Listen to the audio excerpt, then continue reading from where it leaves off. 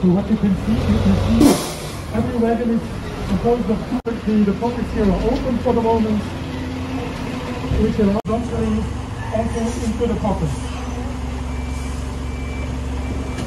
Once disconnected from the tractor,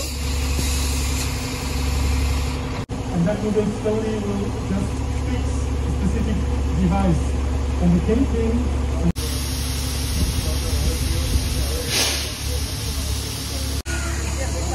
And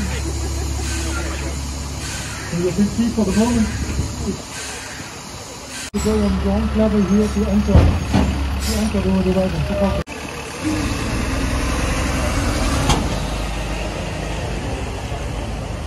Okay, so that was step one. Now it's also it will fit and the wagon will come and fit this device onto the wagon. In, in, in order to make it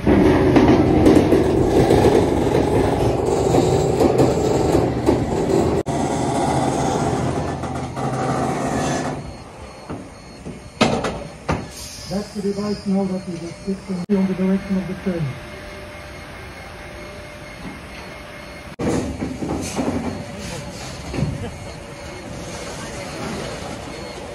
So you can see all this can be done simultaneously. We have here on the length of 700 meters, consisting of two pockets, so meaning 40 trailers can be loaded and unloaded in a very short period of time. Meaning hence by this and this uh, that we can really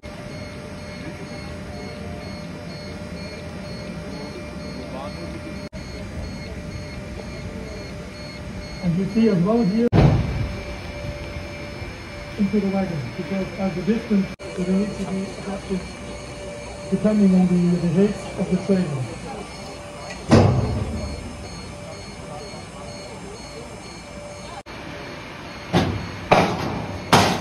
So now, fixed. That's what previously we used the modern technology. Is a, is a better unit, but uh, yeah, it's it costs a lot of time and uh, organization to handle just units with these platforms. The vehicle has the same lifting systems as the gantry cranes, twist lock, and spreaders. The reach stacker can move containers in terminal zones that are outside the reach of the gantry crane.